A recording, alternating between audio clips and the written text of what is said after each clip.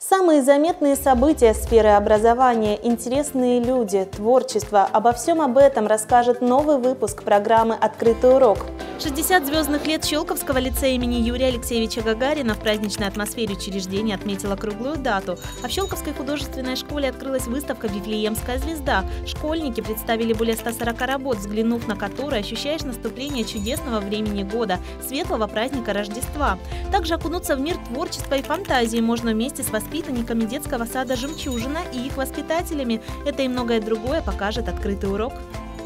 Пятница, 21.30. Не пропустите.